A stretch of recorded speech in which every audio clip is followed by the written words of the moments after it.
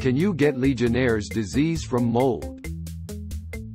Legionnaire's disease nares, is a form of pneumonia caused by the bacterium Legionella pneumophila. It is a respiratory infection acquired after inhaling Legionella pneumophila from mist from water sources such as whirlpool baths, showers, and cooling towers that are contaminated with Legionella bacteria.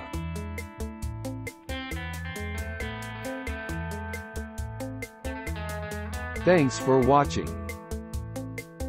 Please subscribe.